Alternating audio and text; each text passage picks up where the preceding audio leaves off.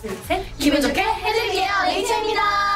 여러분, 수학 능력 평가가 드디어 얼마 남지 않았습니다. 그러니까요. 다들 걱정이 많으실 것 같아요. 맞아요. 저도 멤버들 중에 가장 최근에 수능을 봤었는데 진짜 긴장되고 정말 정말 걱정됐어요. 그래도 좋은 결과 있기를 바라겠습니다. 그럼 저희는 지금까지 레이첼였습니다